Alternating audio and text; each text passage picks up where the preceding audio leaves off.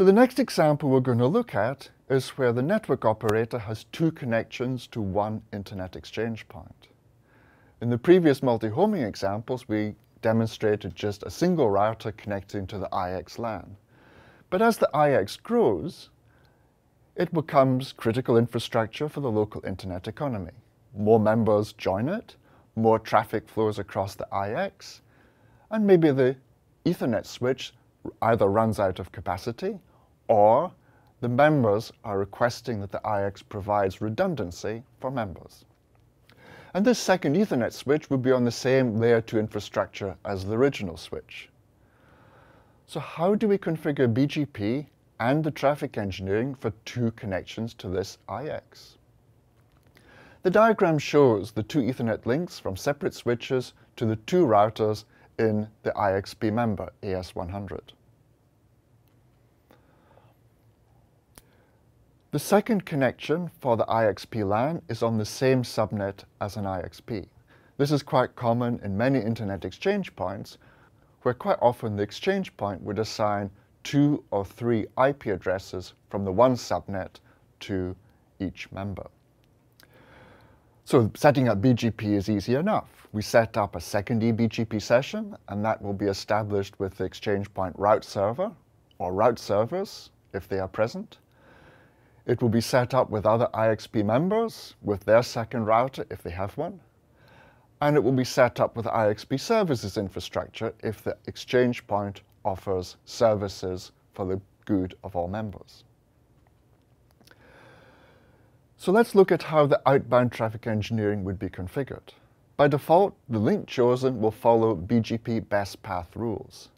In the absence of any other member policy, for example, members might send multi-exit discriminators or MEDs, the best path will basically come down to the lowest neighbor IP address on the exchange point LAN, which most likely means that one link will carry all the traffic and the other link will remain relatively empty. AS100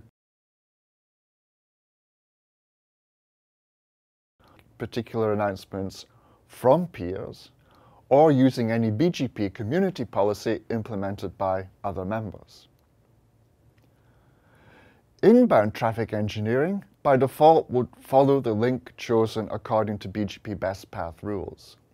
In the absence of any local policy, again, for example, MEDs, sent to other peers, the best path will be the lowest IP address on the IX LAN.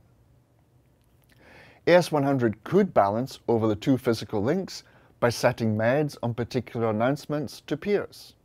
Half the peers could have announcements of MED 10 on one link and MED 20 on the other link. And the other half of the peers could have the MED values reversed. And this all assumes that the peers even respect MEDs, which is getting less and less likely these days. Well, the other way we could do it is by implementing a BGP community policy, which is available for other members to use. Sometimes Internet exchange points recommend what a community policy might be. We could try using ASPath prepends, but for this we need to be careful because we don't want the IX path to be longer than that via paid transit links. Otherwise, we could well end up with peering traffic coming over our expensive and maybe long-haul transit connections. The other thing we could do is bond the two Ethernet connections together. In some circumstances, the IXP may offer the facility of creating an aggregated link. It's called a LAG, a link aggregation group. This provides redundancy at layer 2. For example, 2 gigabit Ethernet links will effectively present as 2 gigabits per second on a single connection on the router. The BGP session is established over the LAG rather than in individual links.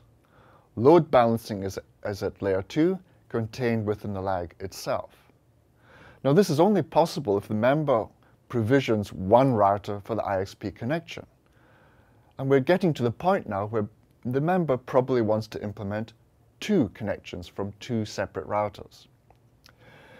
And it's not desirable if the IXP provisions the two links on separate switches, unless the switch vendor supports creating a lag that's shared over two switches, which starts getting to be quite a complex configuration and probably isn't really worth the extra complexity.